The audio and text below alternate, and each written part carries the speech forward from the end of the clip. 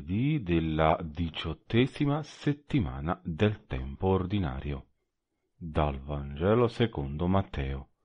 Dopo che la folla ebbe mangiato, subito Gesù costrinse i discepoli a salire sulla barca e a precederlo sull'altra riva, finché non avesse congedato la folla. Congedata la folla, salì sul monte in disparte a pregare Venuta la sera, egli se ne stava lassù, da solo. La barca intanto distava già molte miglia da terra ed era agitata dalle onde. Il vento, infatti, era contrario. Sul finire della notte egli andò verso di loro camminando sul mare. Vedendolo camminare sul mare, i discepoli furono sconvolti e dissero È un fantasma e gridarono dalla paura.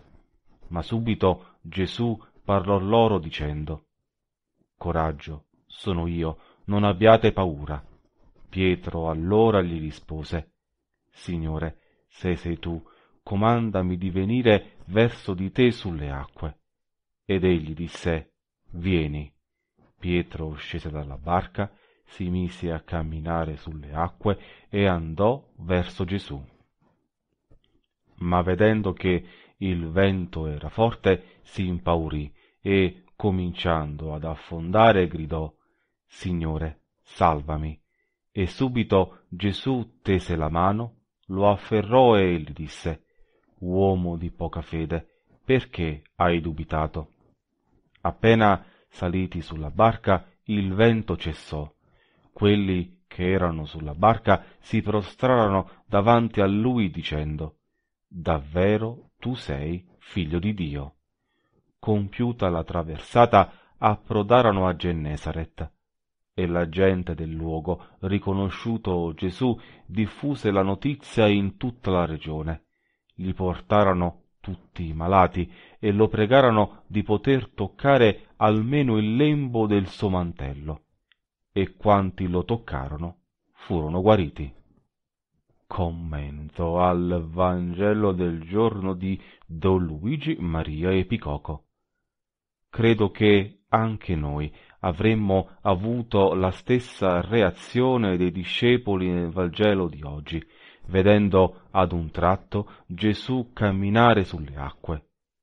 Sul finire della notte egli andò verso di loro, camminando sul mare Vedendolo camminare sul mare, i discepoli furono sconvolti e dissero È un fantasma, e gridarono dalla paura. Eppure erano nel bel mezzo di una tempesta e la venuta di Gesù avrebbe dovuto rassicurarli. Come mai invece si spaventano?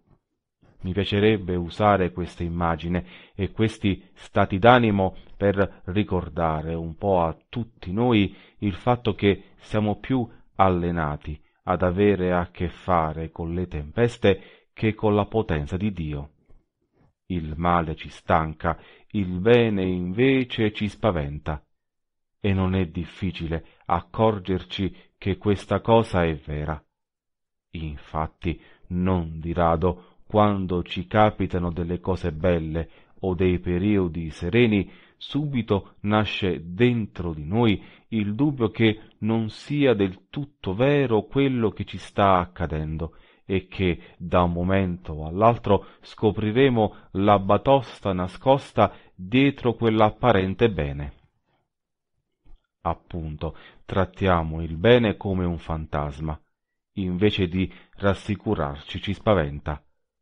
Eppure quel bene che il Vangelo di oggi ci dice essere Gesù stesso ci rassicura.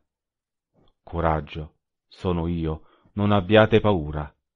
Ma non è facile credergli. Pietro rischia di affogare perché non si fida fino in fondo, ma è il bene a vincere anche sulla nostra sfiducia o incredulità. Appena saliti sulla barca, il vento cessò. Quindi, coraggio.